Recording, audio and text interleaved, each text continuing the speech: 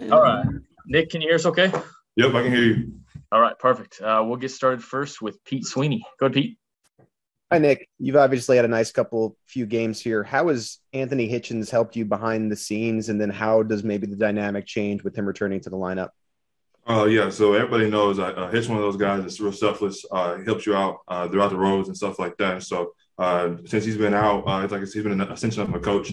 Uh, like I said, he played a lot of football. Uh, I think year eight, year nine for him. Uh, so he's seeing things. Uh, I go on film. I go up there watch film with him. Uh, he kind of dissects some little keys and stuff like that. I'd have him play a little bit faster. Maybe a communication I can make before the snap. I can help out before this, uh, as motion goes and stuff like that. So like I said, I've always said it's always been a blessing for me.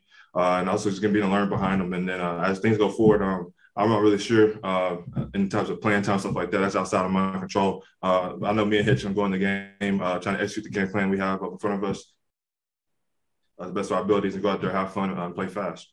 Go next to Soren Petro. Go ahead, Soren.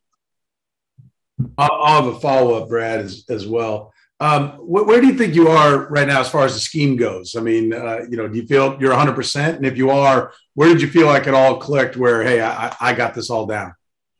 Uh, yeah, still a learning curve. Uh, every week's a learning curve for me. Uh, I'm trying to improve mentally every week. Uh, so I don't think I'm there uh, where I want to be. I know we're close to that. And so I'm still improving, trying to get to uh, the level of comfort that I had prior in, in, years prior in college, stuff like that. Um, that takes time, getting the speed of the game down and, and still and stuff like that. but every week's a new challenge for me, and I take it as that. coming in every single day, trying to get a little bit better. I'm trying to get a little bit more comfortable in the scheme, getting trust the guys around me as well.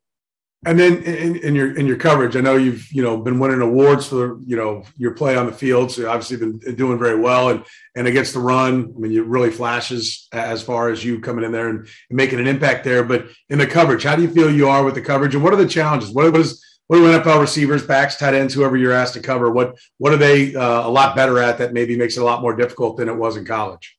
I think feel like everything uh, at this level is more of, of the mental aspect of it.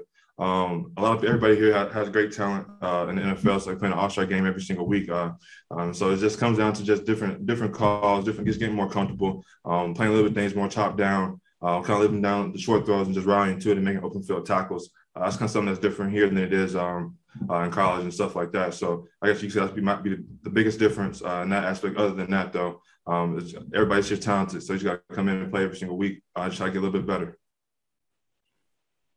Go next to Herbie Teope. Go ahead, Herbie. Hey, Nick, congratulations on uh, NFL Defensive Rookie of the Month for October.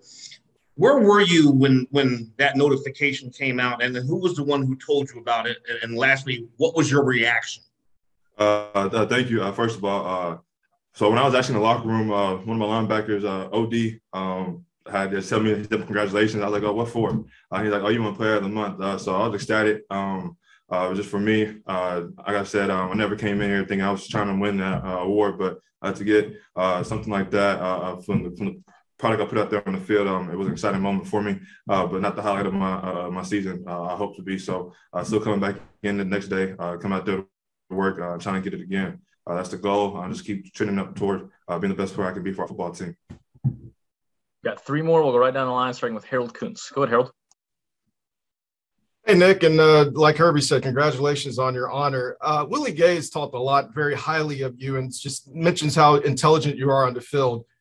What is what do you credit the fact that you've been able to get to the scheme very quickly and be able to be intelligent on the field and make those right read and reactions very quickly, so young in your NFL career?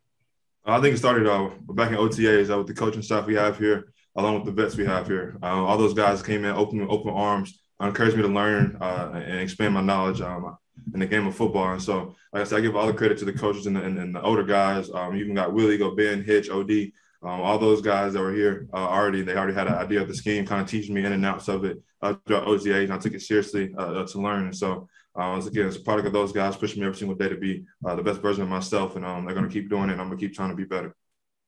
Let's go next to Nate Taylor. Go, Nate. Hey, Nate, congratulations again. Um, didn't get a chance to necessarily ask you this after the Tennessee game, but I'm wondering now, how much did your performance against Derrick Henry, considering how well he was playing at the time, how much confidence did that give you in terms of uh, being that sort of linebacker that can provide obviously stout run support? Oh uh, yeah, uh, again, it's one of those uh, confidence booster games. Uh, even though we came out there uh, and didn't perform the way we wanted to, I ended up in a loss. So um, at the end of the day, I wasn't really too high on it because we lost. But after one back saw the film and saw how, how I played at the Mike backer position, um, my first game actually starting there, uh, I was pretty uh, ecstatic for where I, I could go um, forward and, and, keep building on. And so uh, I feel like uh, he was playing great football at the time. Um, uh, wish him nothing but health. Uh, I believe he's hurt right now, so wish nothing but health. But uh, one of those guys will go to the Hall of Famer one day. So going out there and competing, having fun, and uh, making tackles on him uh, in the backfield uh, was a great start. Go last to Miss Karen Kornacki. Go ahead, Karen. Hey, how are you, Nick? I'm doing good. How are you doing? I'm doing great. Want to ask you about Green Bay? Can you talk to me a little bit about what you've seen? You don't ha- don't have much tape on Jordan Love and you're not facing Aaron Rodgers. So, what are you expecting from this offense? Are you expecting them to run a lot? And what are you expecting from a quarterback that you really haven't seen much of? Um, yeah, I expect the, uh, they got two great backs. Um, uh, so I expect them to go ahead and uh, try to feed them early. Um, that's just how uh, I see how the game's going to go a little bit early. Uh, they got two great backs, uh, great at the backfield, great runners, run out the contact. So I got to give all respect to those guys. I also got one of the best talented receivers in the league on the outside, Davante Adams. So uh, I know they're going to come out there ready to play. Um, don't I wish nothing, uh, but Aaron Rodgers nothing but health as well. But um, come out there trying to execute our game plan to the best of our abilities uh, and run out there, uh, tackle, uh, have fun, and play with energy. And so uh, that's kind of our mindset is going into the next game, and um, hope to execute that. Nick, we appreciate your time. Thanks for joining us. All right, thank y'all. Appreciate it. Appreciate it.